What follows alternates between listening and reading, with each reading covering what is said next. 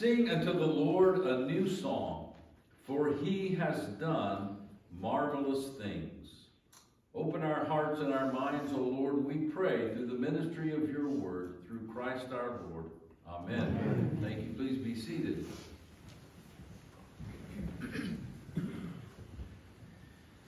Many of the Psalms in our Old Testament Psalter focus on things like our enemies, with words in them like, Deliver us, O Lord.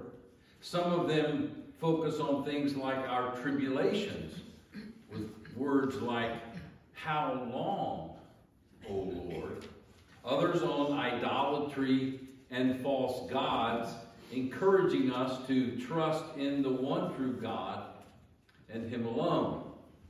Today's psalm, number 98, as does Psalm 96, which are both very similar, Psalm 98 focuses exclusively on the God of creation, the God of preservation, the God of redemption, the one and only true God. There is no mention in the psalm of our enemies, our tribulations, or of false gods. The psalmist's sole purpose is to praise the victorious God and his marvelous works, beginning with the words, Sing unto the Lord a new song, for he has done marvelous things. Now, true it is that his praise is upon reflection of God's mighty deliverance, most likely in regard to a past, maybe recent past, military victory for Israel. For he, in verse 1, he states, his right hand, his holy arm have worked salvation for him. But again, his purpose in this psalm is all about praise and thanksgiving, regardless of the particulars of his deliverance. And it is, I believe, appropriate for us Christians to apply this mention of victory to the spiritual victories we know, to our daily, personal, spiritual victories that God is pleased to give us, but also not to ignore the cosmic dimensions of God's redemptive plan. It is right and good for us to at all times give thanks to God for the redemption by Jesus Christ on the cross. This thing that God is up to, salvation history as it is unfolded in the Bible, God so loved he gave, this thing is huge. It is monumental. And Paul in Ephesians 6 gives us a sense of its magnitude. We saw this in our Sunday school today where he writes, For we do not wrestle against flesh and blood, but against the rulers, against the authorities, against the cosmic powers over this present darkness, against the spiritual forces of evil in the heavenly places. What God is up to, Paul is saying, is big. And in Colossians, Paul assures us by writing, and you who were dead in your trespasses and the uncircumcision of your flesh, God made alive together with him, having forgiven us all our trespasses by canceling the record of debt that stood against us with its legal demands. Those are all set by God. This he set aside, nailing it to the cross. And what happened there? He disarmed, he says in Colossians verse 15, he disarmed the rulers and authorities and put them to open shame by triumphing over them in him. So the psalmist, too, here in number 98, is focusing on this cosmic scene of salvation. And so he calls upon us, and in fact, all of creation, to praise and thank God.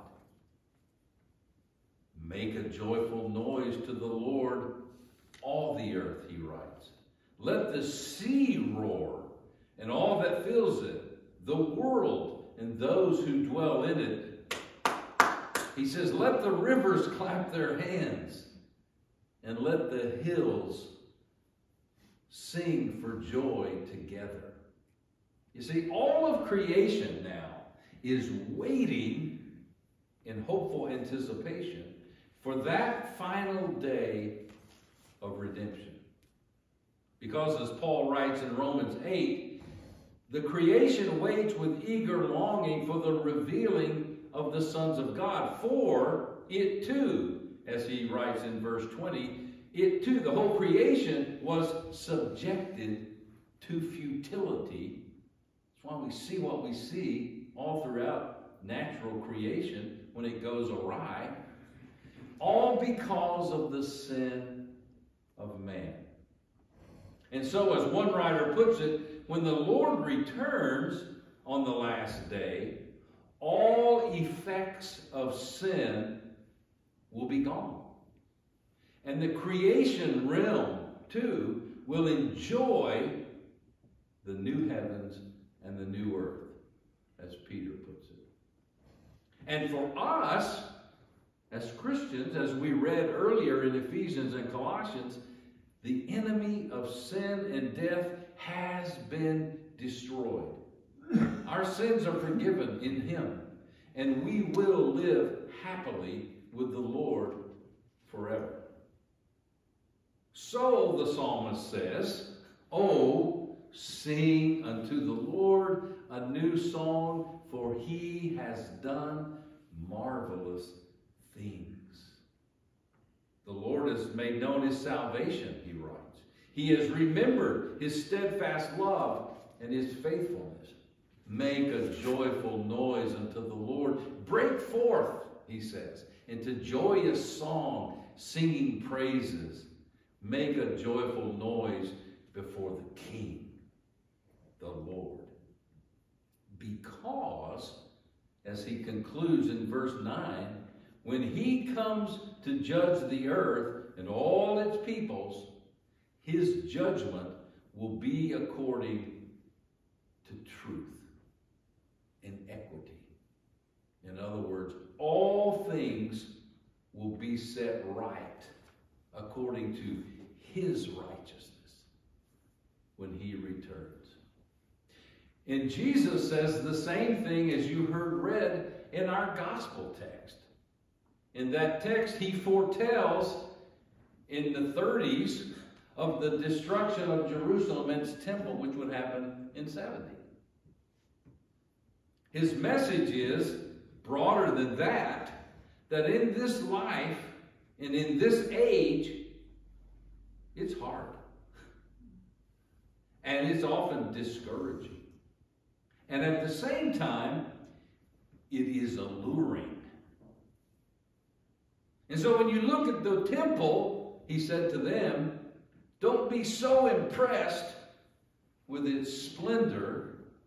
Or if you're having trouble, don't be so downhearted by the trouble that you lose sight of the eternal, the hope.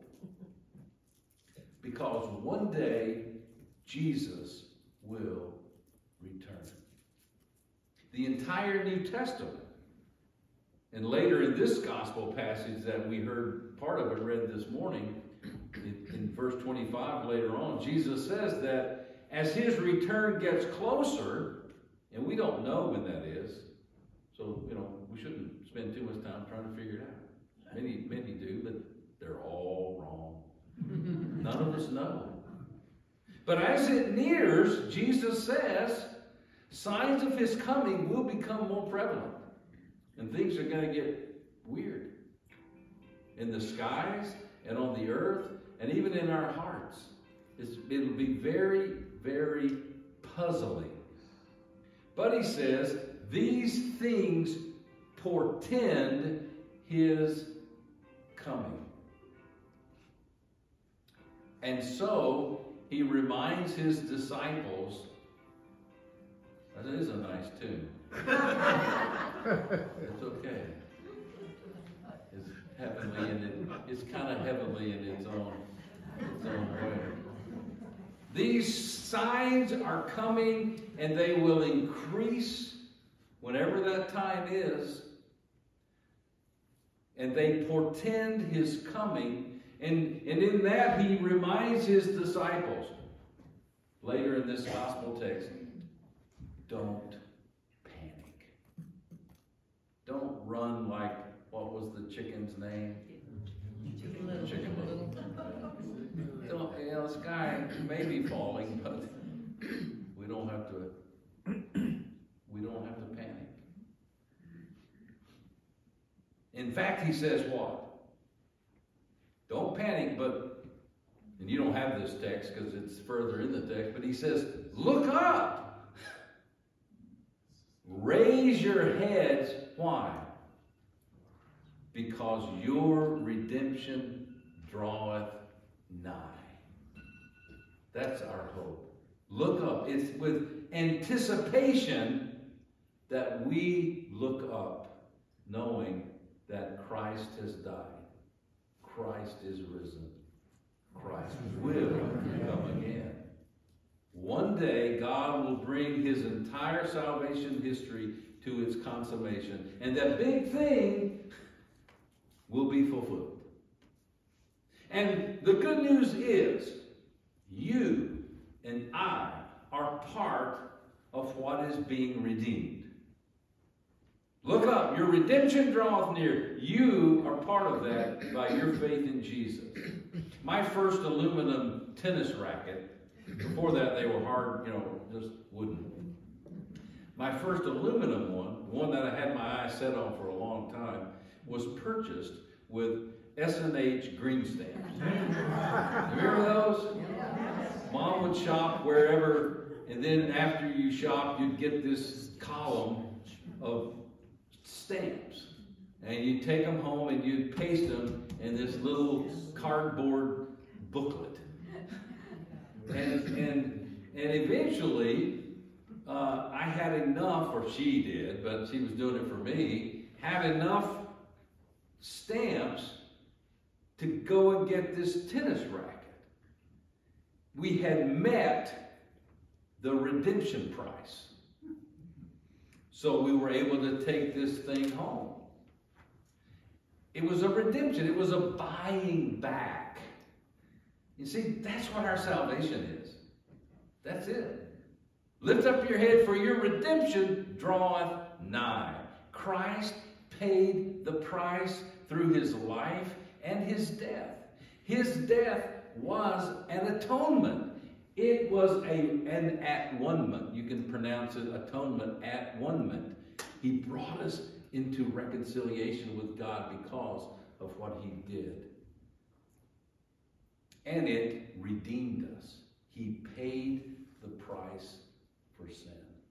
As I've said many times, the Christian life is an eschatological experience. It is an already and not yet reality. Christ already accomplished our salvation. Nothing more can be added. But our experience of it is not yet consummated. It will be consummated at his coming. Then and there, the very cosmos will be renewed, and all of his disciples will experience renewal and a bodily resurrection. We get new bodies. There will be no more sadness, no more sorrow, no more sickness, sin, or death. Only joy forever. And the, the psalmist reminds us that this is why the rivers are clapping their hands. and why the hills are singing for joy, because the entire creation, because of sin, is groaning with anticipation for this day. And we too, therefore, are to make a joyful noise unto the Lord. And this is the context in which stewardship happens. This is the context in which our giving happens. Because of the Lord's grace and His goodness, we give. We give our time. We give our talents. We give our treasure. All in service to the Lord. You see, a steward owns nothing. A steward manages everything that his master gives him. At the offertory each Sunday, we say, All things come from thee, O Lord, and of thine own we have given thee. And we give because we're happy to. Paul in 2 Corinthians 9 writes, Each one must give as he has decided in his heart, not reluctantly or under compulsion. For God loves a cheerful giver. God is glorified when his people give of their time, their talents, and their treasures to others. He doesn't need them, but you give them to others because this giving is a reflection of his image in us. God loves, and what does he do? He gives. God so loved, he gave. And by his grace shown to us now, we too love. We love him supremely, and we love others as he has commanded us. As one Protestant Reformation statement of faith concludes regarding this, truly good works should be done willingly or from a voluntary spirit by those whom God's Son has made free. It is all a part of making a joyful noise unto the Lord. In the name of the Father, and of the Son, and of the Holy Spirit. Amen. Amen.